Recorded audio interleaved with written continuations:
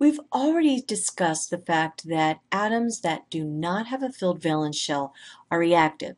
So now we're going to look at one of the ways that some atoms can react to get a more stable valence shell.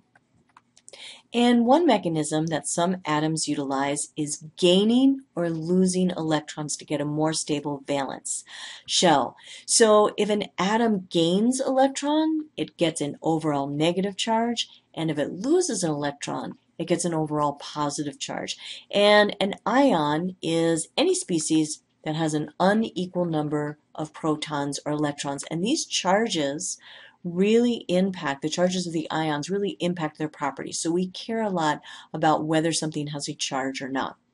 So let's take a look at the lithium atom. Lithium is in group 1A and it's in the second period.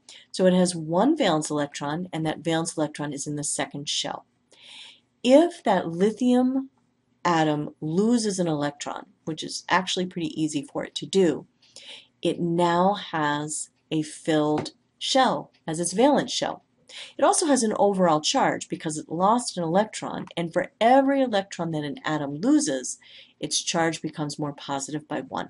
So since lithium lost one electron, it is a charge of positive 1.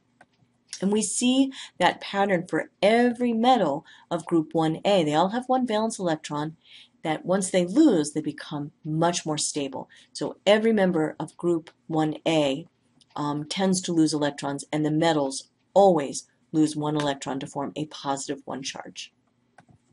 Now, on the other side of the periodic table, if we look at the nonmetals, they are just a few electrons shy of getting a filled valence shell. So for example, oxygen has six valence electrons. It just needs two more to get a filled shell of eight. Fluorine, seven valence electrons. It only needs one more to get eight valence electrons. So nonmetals tend to gain electrons to form negatively charged ions. So if we look at oxygen, so we saw it's in family 6A, it has six valence electrons in the second shell, because oxygen is in the second period.